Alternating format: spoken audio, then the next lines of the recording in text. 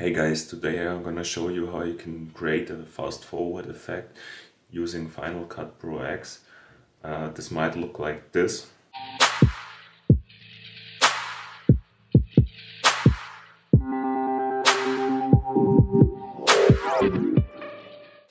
And now I show you how to do this. Let's switch to Final Cut.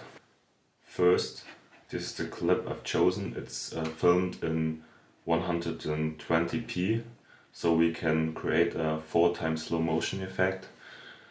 Um, first, let's create a new project. Let's call it fast forward effect. Set it to 1080. Okay, now drag the clip into it and important the music. Now the first thing you have to do is to slow it down to 25% if you filmed it in 100 or 120p. Now let's zoom in a bit. So we have enough space to work. The first thing you have to do is um, to choose the part of the clip you want to use. In this case it's this one, so let's cut it here and here a bit quick, quicker. Check the music in again. So zoom in again. We want more space. So now it's important to use the sound of the music to set the cuts or to change the music. So let's play it. You can hear the claps like here. So we want to use this one but we want to set a cut here. So we have to get the clip to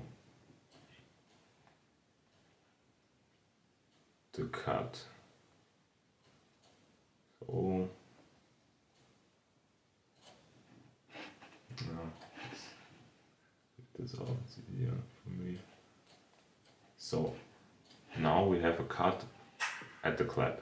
So like this.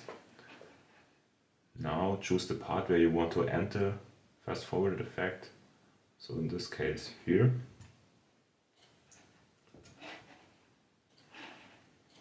Choose it, set it to four times forward or faster. Now what you have is a fast forward effect at the clap. Ah, it's not perfect, zoom in again. Because you wanted perfectly at the so what we do is drag it to the clap play it again. Now it's perfect. And here's another one so we can set another fast forward effect at this point. So cut it here. Go about this forward, set it to four times faster, make it perfectly to the clap, and now there's another one, let's do it again.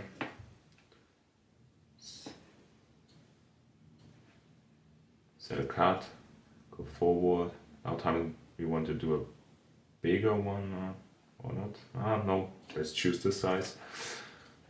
Do it again, four times forward, set it perfectly to the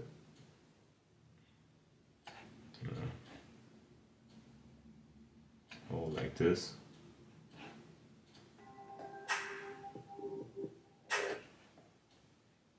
So here's another one. So this is gonna be the last one. Another, set another cut choose the clip about this space. And now drag it to the clap drag it to the clap so like this. And now what we have is a clip with four fast forward effects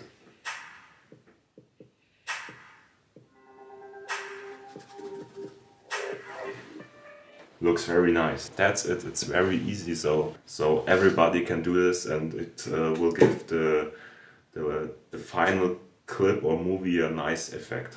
Don't forget to subscribe to get more tutorials about uh, Final Cut and uh, some nice little movies.